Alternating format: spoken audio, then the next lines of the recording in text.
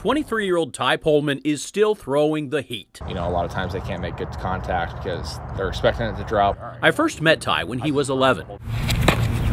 A die-hard fan of the team that won the World Series, he watched that magical Game 7 on a VHS tape over and over and over. He started playing baseball competitively when he was two. One of the first words he said, Gonzo. it's why for the 10th anniversary of the World Series victory, we surprised Ty with a visit with his favorite player. What happened tells you all you need to know about how a ball player can make an impact. What's up, Ty? How you doing, man? How you doing, buddy? Thank you. You doing all right? Yeah. Surprise you? Yeah. A little bit? Yeah. All right, all right. It's okay to cry in baseball. We're all right. We've all cried before.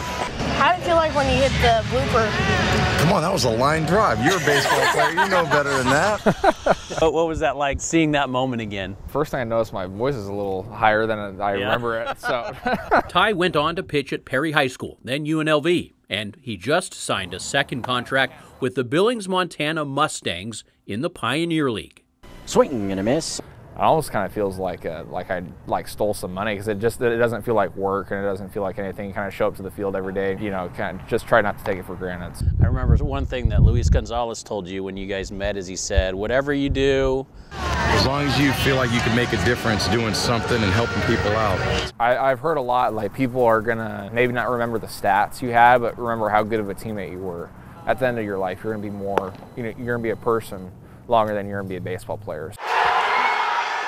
Ty watched the D backs beat the Phillies last week, ecstatic like the rest of us, but he watches games differently today. It was a little interesting for you because you're watching them beat the Phillies and you know a couple of the Phillies players, yeah. having worked out with them. I was in here with Brandon Marsh and Matt Strahm, seeing those guys on TV play against the team that you kind of watched growing up your whole life playing, so it was kind of like torn.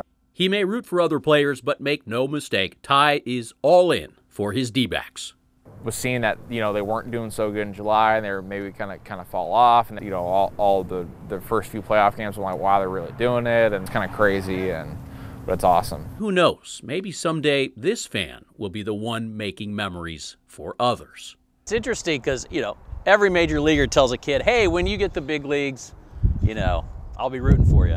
When you get to the big leagues, then you could send me the copy and then I'll have you sign it. You're actually in the pros working towards a goal and it's possible. Yeah, you know, in the back of everyone's mind, it's kind of, you want to get there. And I think in the end, it's, it's truly about the process and about kind of the relationships you make. And you take it one step at a time. Joe Dana, 12 News.